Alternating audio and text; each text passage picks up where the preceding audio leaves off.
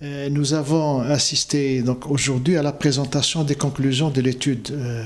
de l'IRES sur le, nexus eau, énergie, agriculture et euh, écosystème. cette approche nexus, on l'a conçue de façon à, améliorer l'utilisation des ressources rares, notamment l'eau qui doit être au centre des, euh, et au cœur de toutes les politiques publiques. Et on l'a imaginé aussi parce que c'est la, la, la façon euh, la plus appropriée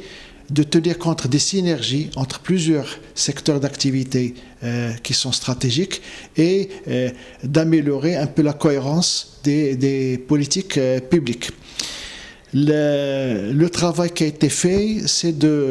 d'identifier toutes les, les interactions toutes les interférences, les interactions entre l'eau, entre l'énergie, l'agriculture, les écosystèmes, notamment, les, forêts, qui jouent un rôle très important au niveau du, développement durable, et euh, de chiffrer un peu les, les, euh, les bonnes pratiques qui se font, parce qu'il y a des choses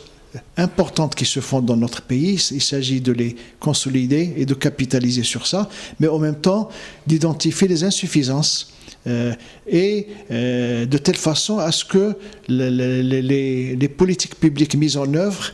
euh, tiennent compte au niveau de leur conception des autres secteurs, des autres politiques publiques et des autres secteurs d'activité. Donc l'étude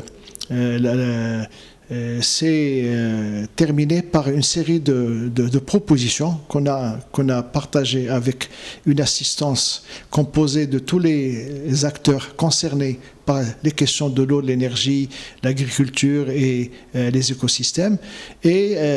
le rapport final permettra de donner un peu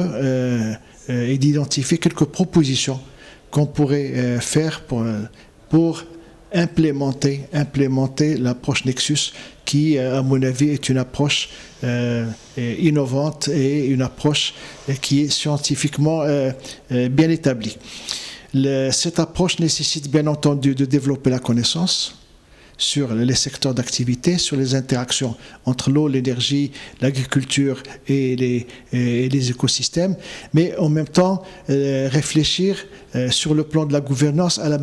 manière optimale donc d'implémenter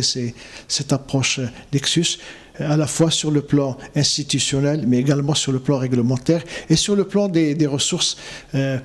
humaines et matérielles nécessaires.